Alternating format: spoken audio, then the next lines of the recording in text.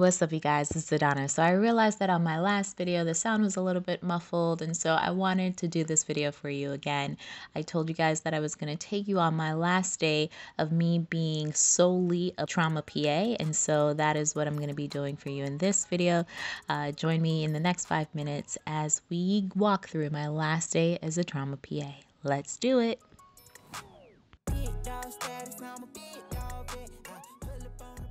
So typically I like to start my day off by getting myself ready. I usually make my bed and then try to figure out something to eat after I've gone through my morning rounds. Um, this is me walking into the cafeteria. This is our calf. Uh, there's not usually like the best selection for me as a vegetarian, but I typically usually get like eggs and potatoes um, to eat because uh, there's not really a meat option. 10, 13, usually eating my egg and my potatoes, and then typically go to the floor to actually like start working. This is our workroom. Here we have lots of snacks, not always the best snacks, but snacks to kind of just keep you going throughout the day. This is where we do all of our charting and writing of notes because if you don't document it, it didn't happen. So I got called to the floor to check on a patient. So I wanted to do that. You always have to sanitize in and out. So make sure that you keep your hands clean. Uh, then I got called down to the trauma bay. I wanted to take you guys to the trauma bay uh, before I saw this first trauma. Um, typically, there's a lot of stuff going on, but in that middle area is where we usually do our charting and writing of notes. We have five trauma rooms, specifically four, but five, a fifth one that we can run a trauma out of. Uh, here you can see that there's a tower kind of in the back. That's where we keep all of our supplies, where we can get quick access to various different things. You saw two monitors. That gives us the capability of running two traumas in the room at a, at a time. So if you were a family member here I am, my trauma came in. I wanted to kind of just look up some labs and images, just kind of again do my charting. I got a call for a consult, and the consult was about a bowel obstruction. So, typically, look at it in various different views. Um, I wanted to show you guys the various different views that I was looking at the bowel obstruction so you can see exactly what that looked like. Time to eat.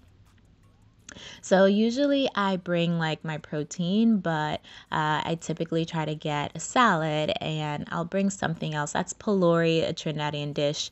Put some salmon on the salad and doing my happy dance because I'm getting the opportunity to kind of eat a little bit early because again, you never know when you're going to be called for trauma.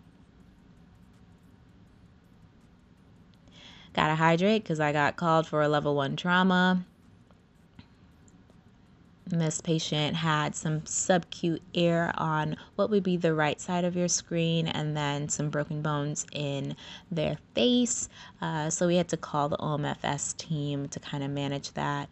Had some other injuries as well. This is just like a cool 3D rendition of the inner um, aspect of the patient's body.